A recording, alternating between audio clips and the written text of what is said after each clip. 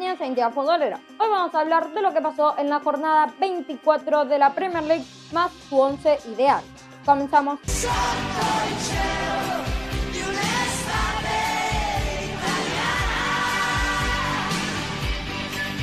Como dije en la introducción, hoy vamos a hablar de lo que pasó en la jornada 24 de la Premier League más sus 11 ideal. Eh, lo que a mí me pareció los mejores jugadores en esta jornada. Comenzamos por los resultados. Que Leicester le ganó 3 a 1 al Liverpool.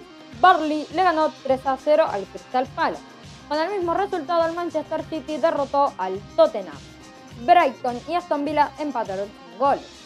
Wolves le ganó 2 a 1 al Southampton. Albion y Manchester United empataron a un gol. Leeds perdió 2 a 4 contra el Arsenal. Fulham le ganó 2 a 0 al Everton. Las tablas de posiciones quedan de esta manera. El Manchester City es el líder con 53 puntos. Segundo es el Manchester United con 46. Tercero es el Leicester con los mismos puntos. 42 tiene el West Ham y es cuarto. Quinto es el Liverpool con 40. Ahora pasamos al semáforo positivo. Como primer semáforo positivo nos encontramos a Ilkay Gundogan haciendo de las suyas otra vez. Un Ilkay Gundogan que no para de hacer goles, un Ilkay Gundogan que está jugando perfecto, que es el centro del Manchester City actualmente.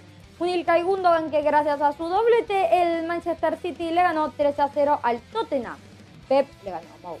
Eh, un Ilkay Gundogan.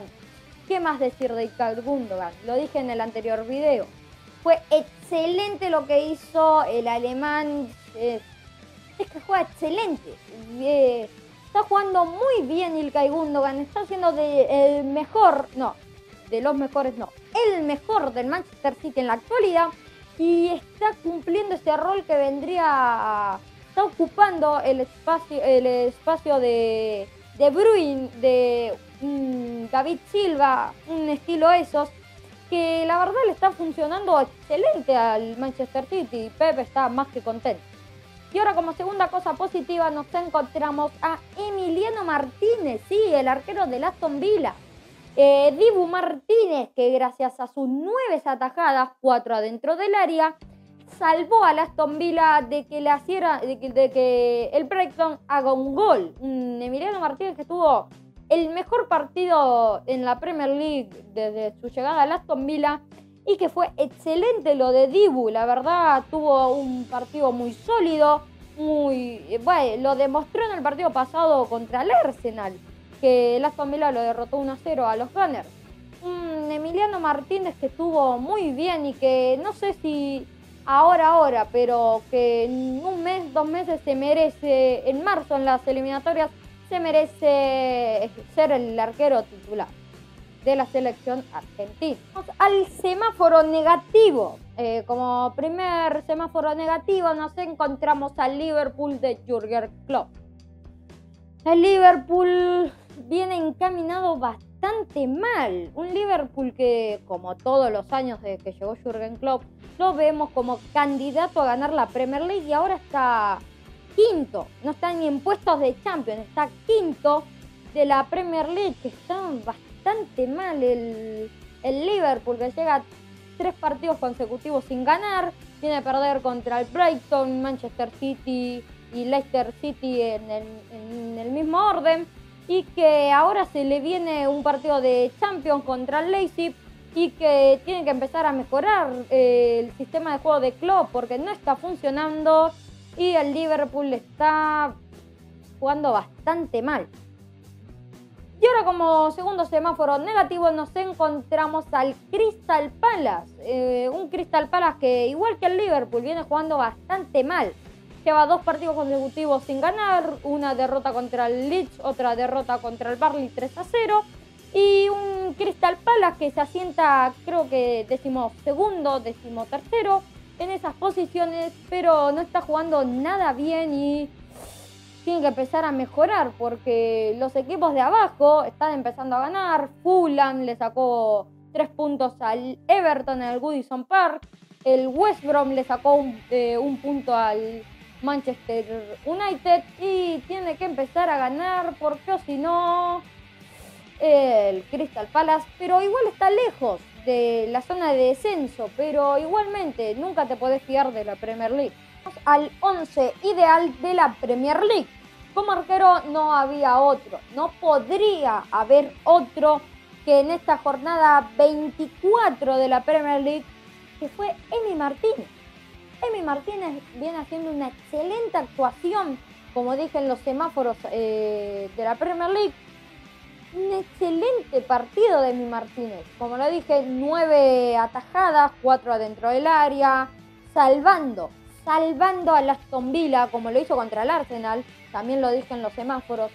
Tuvo un excelente partido Emi Martínez y por eso se consagra como el arquero de este once ideal porque no había otro. Y ahora como lateral derecho nos encontramos a Mati Luzon del Barley. Mati Luzon eh, tuvo un excelente partido, va. Hizo un gol, tuvo cinco despejes, tres intercepciones, tres entradas, no fue ninguna vez regateado.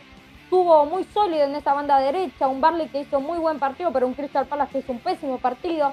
Eh, muy buen partido de Martin Lawson y bastante sólido ¿no? en esa defensa del Barley en concreto. Ahora vamos a la defensa central, a esos dos centrales, a esos dos paredones, a esas dos bestias. Y como primer bestia nos encontramos a Lewis Dunk de el Brighton. Lewis Dunk tuvo un excelente partido. Lewis Dunk que viene haciendo excelentes partidos. Desde el Liverpool que viene haciendo un excelente papel. Eh, Lewis Dunk, ¿qué hay que decir de Lewis Dunk? Tuvo cuatro despejes, un disparo bloqueado, una intercepción, un partido redondo, un, eh, un, duelo ganado en el suelo de sobre uno, seis duelos aéreos ganó sobre seis. Un excelente partido de Lewis Dunk, 90 pases y un 85% de precisión en esos pases.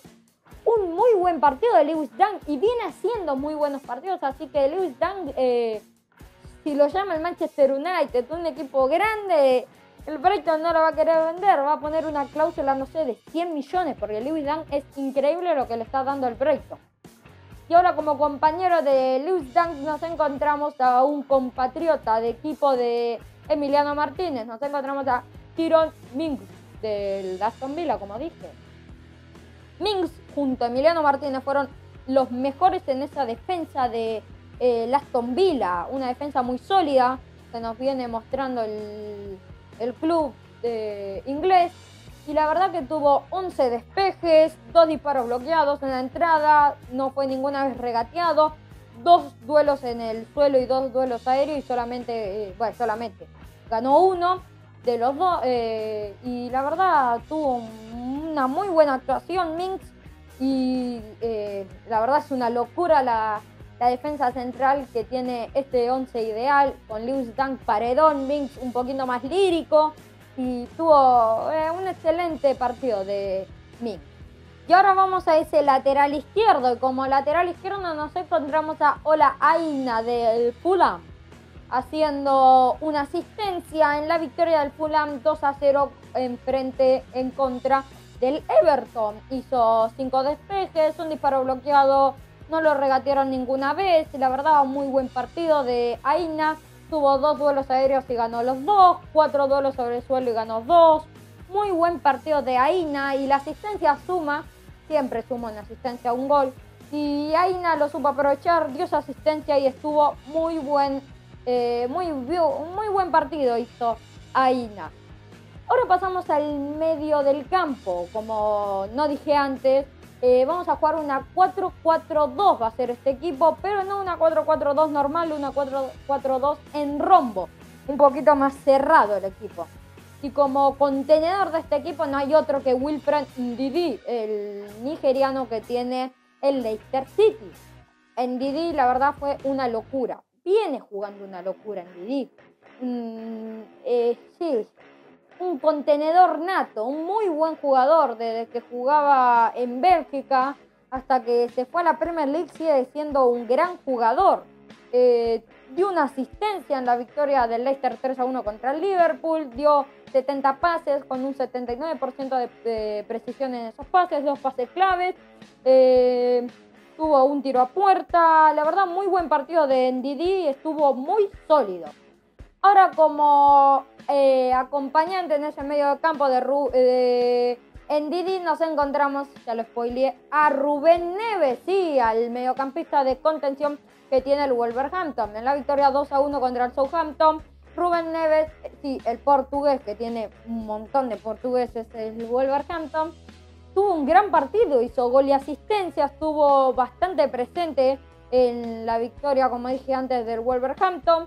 Dio 65 pases con un 71% de precisión, un pase clave que fue la asistencia.